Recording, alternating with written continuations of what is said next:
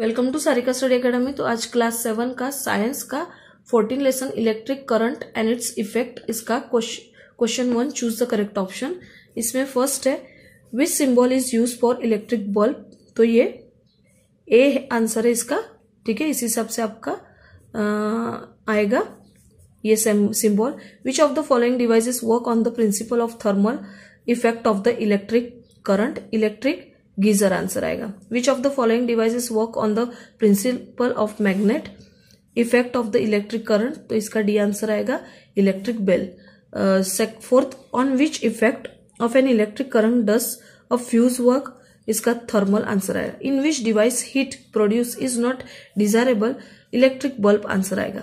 In which of the following devices is an electromagnet use इसका A answer magnetic compass ठीक है?